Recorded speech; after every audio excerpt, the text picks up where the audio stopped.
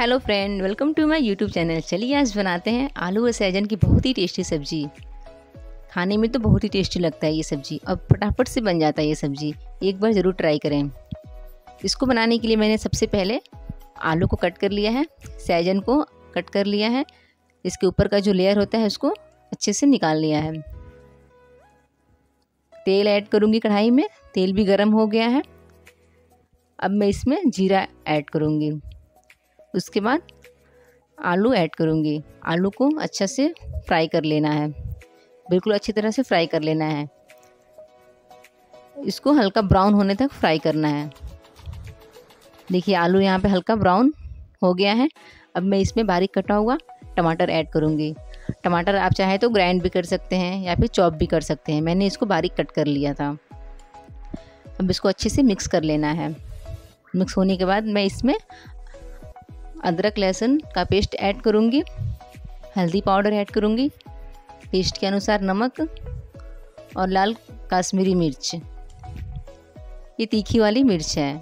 इससे इस क्या होता है, इसमें सब्ज़ी में तीखापन आता है और टेस्ट भी बहुत अच्छा लगता है इसका। अब मैं इसमें ऐड करूँगी सब्ज़ी मसाला। अब मसाले को भी अच्छे से मिक्स कर लेना है, अच्छी तरह से। अब मैं इसमें एक कप जितना पानी ऐड करूँगी, ताकि मसाला अच्छे से पक जाए। मिक्स करके इसमें पानी ऐड करूँगी एक कप जितना। ज़्यादा पानी नहीं ऐड करना है। स्टार्टिंग में थोड़ा ही पानी ऐड करना है, एक कप की जितना ऐड करना है पानी। अब इसको अच्छे से मिक्स कर लेना है।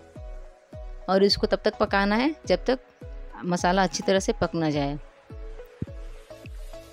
देखिए इसमें अच्छी तरह से मसाले में तेल दिखनी चाहिए, एकदम ऊपर। तेल आता है ना पकने के बाद।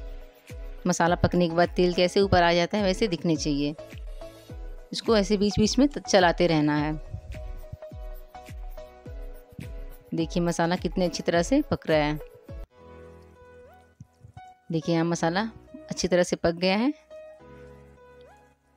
पक एकदम थोड़ा सा हो गया है। अब मैं इसमें ऐड कर दूँगी सहजन। देखिए, इसको मैंने धो के रख लिया था, अब इसको अच्छे से इसमें ऐड कर लेना है। अब इसको, अब इसमें मैं थोड़ा सा पानी ऐड करूँगी। पानी अपने हिसाब से आप डालिएगा। वैसे तो ये सब्ज़ी ग्रेवी वाली ही अच्छी लगती है, सूखी सब्ज़ी नहीं अच्छी लगती है इसकी।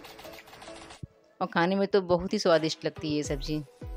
और सेहत के लिए फ़ायदेमंद भी है ये सब्ज़ी। एक बार आप ज़रूर ट्राई करें इसको।